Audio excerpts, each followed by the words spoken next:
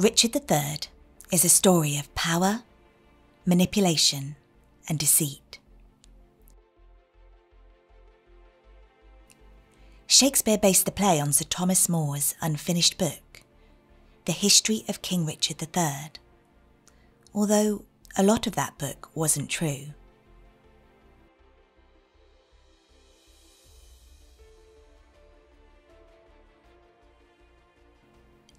At the end of the Wars of the Roses, fought between the houses of Lancaster and York,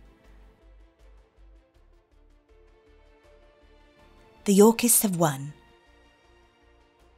and have crowned Edward IV the new king.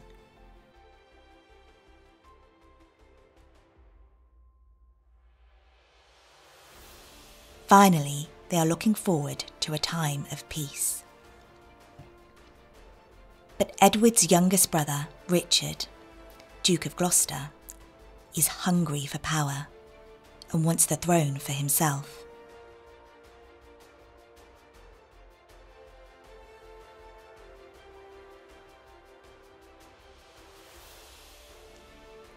Richard makes a plot to frame his brother George, Duke of Clarence, for treason.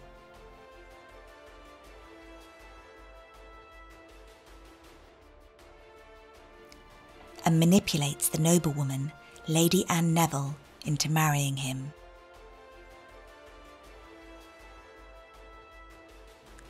Even though she knows he murdered her first husband.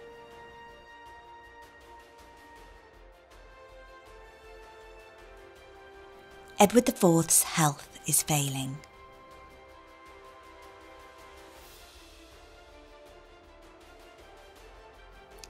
His wife, Queen Elizabeth, argues with Richard.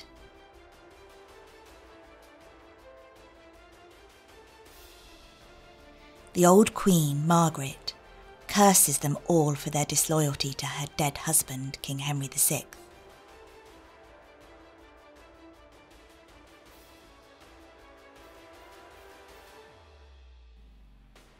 She warns the Duke of Buckingham not to trust Richard. George is murdered in the tower at Richard's orders.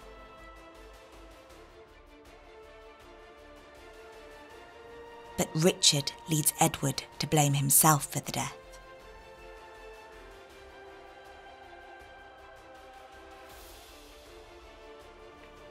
Edward dies shortly after. Neither of Edward's two sons are old enough to be king so Richard is appointed Lord Protector of England.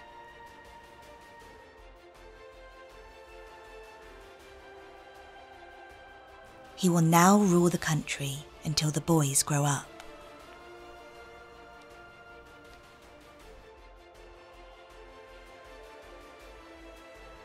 Richard orders the execution of noblemen who are loyal to the princes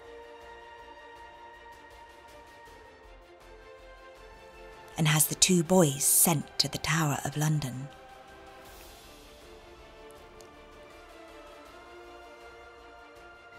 Buckingham spreads rumours that the princes are illegitimate, so aren't true heirs to the throne.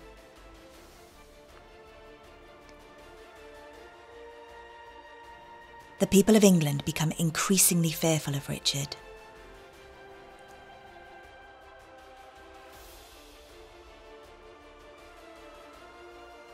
However, Buckingham convinces the Lord Mayor that Richard is pious and needs to be convinced to become king.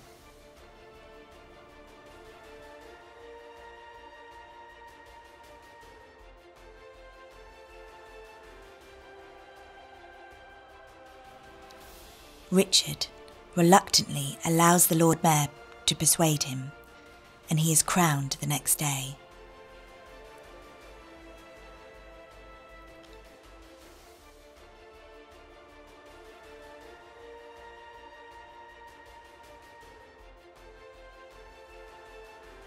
To secure his position, Richard decides that the princes have to die.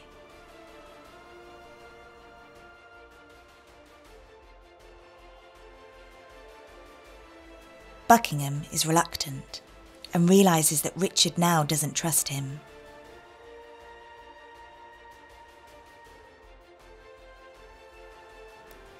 He flees to his castle in Wales. Because Buckingham won't help, Richard employs a man called Tyrrell instead. Tyrrell goes to the tower and kills the princes. Meanwhile, news arrives that the Lancastrian Earl of Richmond has raised an army in France and is coming to challenge Richard.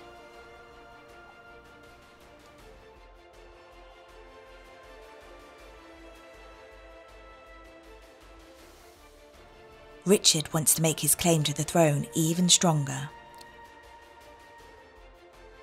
So he decides he should marry King Edward's daughter, Princess Elizabeth.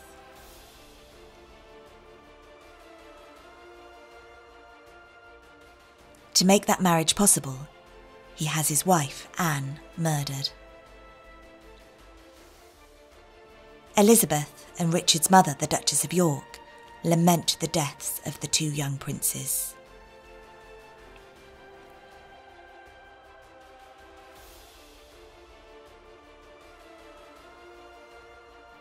Margaret teaches them how to curse and leaves for France.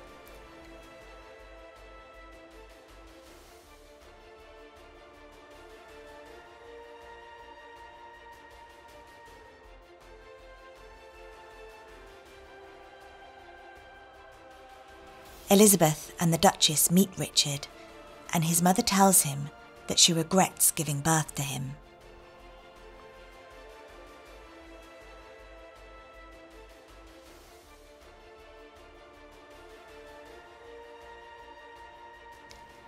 Richard still manages to convince Elizabeth to let him marry her daughter.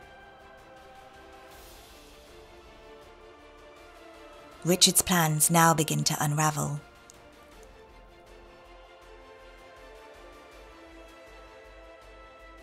Queen Elizabeth delays the marriage and arranges for her daughter to marry Richmond instead.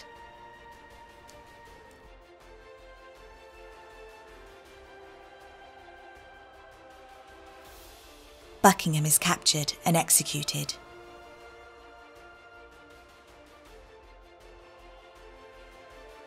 And Richmond arrives in England.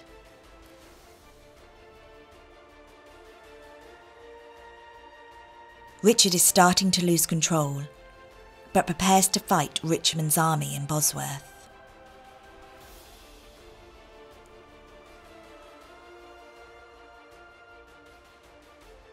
The night before the battle, the ghosts of the people Richard has had murdered appear to him in a dream.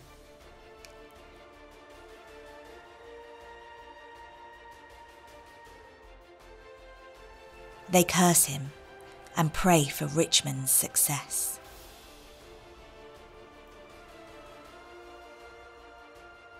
The armies clash, and Richard is eventually killed in battle by Richmond.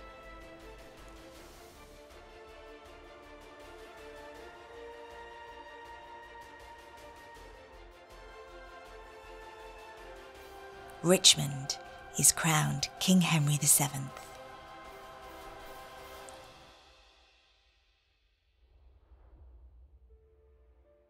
He marries Princess Elizabeth. The houses of York and Lancaster are united.